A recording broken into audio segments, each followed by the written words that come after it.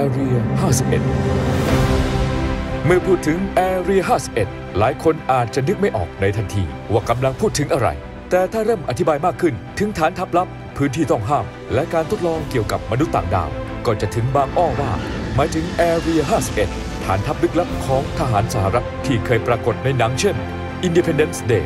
และ Indiana Jones I know them before anyone else. จุดเริ่มต้นของ Area 51 ถือกำเนิดขึ้นในปี 1947 สมัยของประธานาธิบดีสหรัฐแฮร์รี่เอสทรูแมน เขาได้ออกคำสั่งให้จัดตั้งหน่วยงานด้านข่าวกรองเพื่อความมั่นคงของสหรัฐ ชื่อหน่วยงานนั้นก็คือ CIA เพื่อต่อสู้กับสหภาพโซเวียตที่ก็มีหน่วยข่าวกรองเช่นกัน ชื่อว่า KGB นั่นเอง สงครามเย็นถือกำเนิดขึ้นหลังสงครามโลกครั้งที่สอง that it must be the policy of the United States นิยามของสงครามในยุคนี้ไม่ใช่การต่อสู้ประจันหน้าในสนามรบอีกต่อไป แต่เป็นการแข่งขันด้านงานจารกรรม การสอดแนม และการส่งสายลับเข้าแทรกซึมศัตรู รวมถึงต่อสู้กันทางด้านเทคโนโลยี ไปจนถึงการแข่งขันความเป็นผู้นำบนห้วงอวกาศ Broadcast of a launch before the eyes of the world. สหรัฐเริ่มพัฒนายานจารกรรมและดาวเทียมจารกรรม เครื่องบินประสิทธิภาพสูงของกองกำลังสหรัฐรุ่น Lockheed U2 ถูกผลิตขึ้น แต่กลับไม่มีรันเวย์ของสนามบินกองทัพแห่งไหนในประเทศ ที่ยาวพอจะทดสอบสมรรถภาพของเครื่องบินรุ่นนี้ได้ จนกระทั่งนักบินทดสอบโทนี่ลาเรลได้บินเครื่องบินทดสอบผ่านบริเวณทะเลสาบแห้งแห่งหนึ่งในรัฐเนวาดา หรือในชื่อทะเลสาบกรูมเลกโทนี่พบสถานที่ที่เหมาะสมสำหรับการทดสอบเครื่องบินเข้าให้แล้ว หลังจากนั้น CIA และกองทัพสหรัฐจึงเริ่มก่อสร้างฐานทัพลับที่ชื่อว่า Area 51 ขึ้น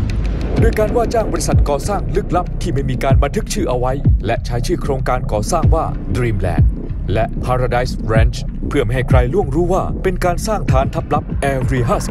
51 ในช่วงแรกๆ Area 51 ยังถูกเรียกในชื่อลับว่า Homey Airport อีกด้วย หลังจากนั้นเครื่องบิน Lockheed U2 ก็ถูกนำมาทดสอบใน Area 51 เป็นครั้งแรกในปี 1955 ต่อมาเครื่องบินรบสมรรถนะสูง Lockheed SR 71 หรือที่มีชื่อเล่นว่า Blackbird ก็ถูกนำมาทดสอบที่นี่ในปี 1962 ด้วยรูปทรงอันแปลกประหลาดไม่เหมือนเครื่องบินรบไอพ่นปกติทำให้ชาวบ้านที่ได้พบเห็นในบริเวณนั้น เข้าใจว่าเครื่องบินประหลาดนี้ก็คือ จานบินของมนุษย์ต่างดาวหรือ UFO กระทั่งในปี 1973 CIA พัฒนาเทคโนโลยีเครื่องบินล่องหนหรือ Stealth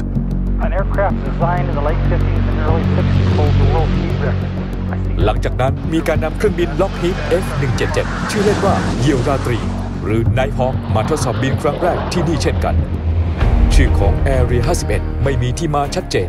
แต่สันนิษฐานว่าตั้งตามชื่อของพื้นที่ขนาดใหญ่ ที่มีการซอยออกเป็นส่วนต่างๆ และตั้งชื่อด้วยคำว่า Area ตามด้วยหมายเลขรวมกัน 51 พื้นที่ย่อย ตั้งอยู่บนพื้นที่กว้างใหญ่ ที่เคยเป็นทะเลสาบน้ำเค็ม ปัจจุบันเหลือแค่ตะกอนเกลือปนทรายฉาบอยู่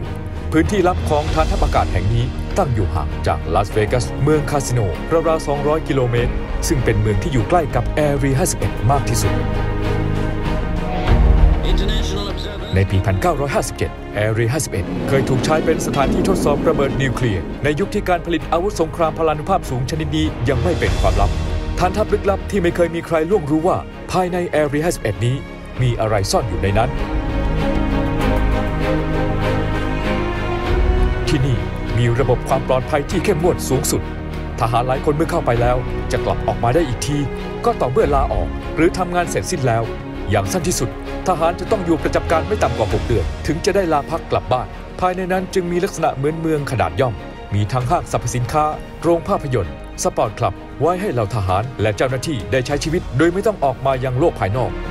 เส้นทางเข้าสู่ Area 51นั้นมีอยู่ 2 วิธี ก็คือทางเครื่องบินและทางรถยนต์ ในขนส่งการบินเจ้าหน้าที่ทหารจะต้องไปขึ้นเครื่องบินสายการบินลับ Janet Airline ที่ไม่มีโลโก้ข้างลำตัวเครื่องบิน ทหารแค่จะต้องไปขึ้นเครื่องบินที่สนามบินลาสเวกัสเท่านั้น ทางเข้าพื้นราบของ Area 51 มีชื่อว่า Widow Highway หรือถนนแม่ไม้เส้นทางนั้นยาวไกลมากเกินกว่าที่คนปกติจะขับไปถึง